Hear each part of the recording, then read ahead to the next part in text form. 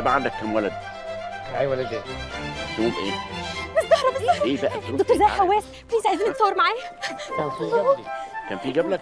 آه. أهلا وسهلا يا دكتور. أهلاً وسهلاً. أهلا وسهلا. أهلا وسهلا. زهرة قنديل أهلا ست هاني. مديرة مدرسة رؤية. ده حاجة جامدة جدا دي. ممكن البنات يتصوروا مع حضرتك؟ طبعا عينيا الاثنين شرف اتشرف. يلا اتفضل. اتفضل أنا هصوركم. دي المصورة بتاعتكم؟ أيوه. تلامذتي. selfie selfie. آه يلا. يلا. شعرك مداري كل حاجة. بصي بقى. يلا cheese. لا رمسس عشان يضحكوا. okay. رمسيس. okay. بعد إذن حضرتك يا دكتور هو موضوع لعنة الفراعنة دي بجد؟ لا ده بقى موضوع محتاج نتكلم فيه. تعالوا ندخل جوه المعبد ده وأقول لكم. يا ريت. يلا. متشكرين قوي قوي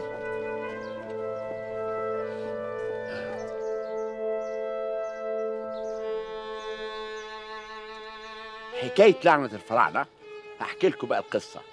أنتوا عارفين ان مقبره توت عنخ أمون كشفها هوارد كارتر وممول كشف المقبرة لورد كارنافون وكشف المقبرة في 4 نوفمبر 1922 لورد كارنافون ادى حق النشر عن الكشف للندن تايمز. ده جورنال إنجليزي. فطبعا الصحفيين التانيين قاعدين ما بيعملوش حاجة ومتغاظين ومتضايقين سواء مصريين أو أجانب.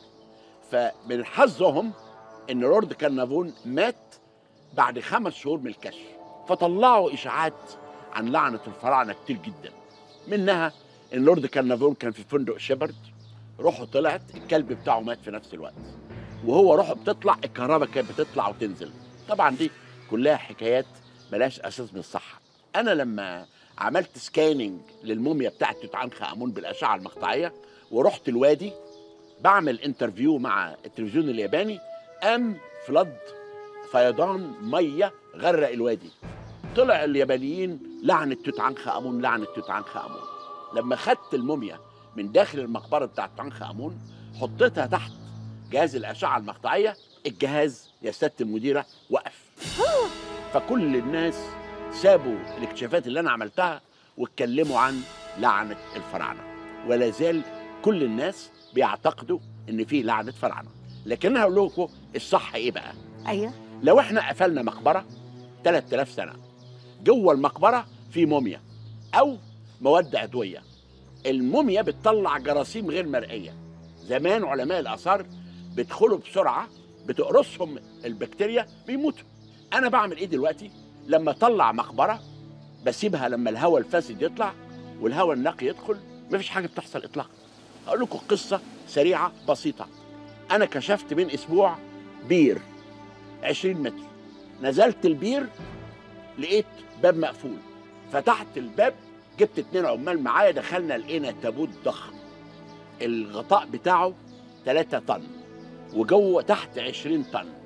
العاملين جابوا حاجة اسمها العفريتة. بدأنا يرفعوا التابوت رفعوا التابوت دخلت راسي بالتابوت ببص لقيت قدامي أجمل موميا عمرها 4300 سنة في الجنب ذهب والجنب ده ذهب وعصبة ذهب وحزام ذهب الله. أنا دخلت راسي في التابوت اللي كان مقفول 4300 سنة. ما حصليش حاجة. أنا قدامك أهو. يعني ما فيش حاجة اسمها لعنة الفراعنة. bye bye. تسقيفة. thank you